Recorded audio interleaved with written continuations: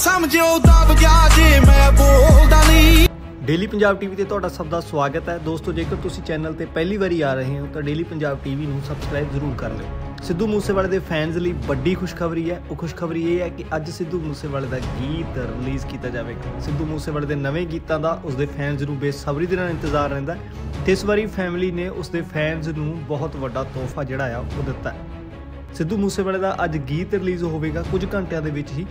ਜਿਸ ਦਾ ਇਹ ਪੋਸਟਰ ਤੁਸੀਂ ਆਪਣੀ ਸਕਰੀਨ ਦੇ ਉੱਤੇ ਦੇਖ ਸਕਦੇ ਹੋ। ਇਹ ਗੀਤ ਬਿਲਕੁਲ ਜ਼ੀਰੋ ਪ੍ਰੋਮੋਸ਼ਨ ਤੇ ਛੱਡਿਆ ਜਾਵੇਗਾ, ਜਿਸ ਤਰ੍ਹਾਂ ਪਹਿਲਾਂ ਸਿੱਧੂ ਮੂਸੇਵਾਲਾ ਵੀ ਆਪਣੇ ਗੀਤ ਰਿਲੀਜ਼ ਕਰਦਾ ਰਿਹਾ ਹੈ।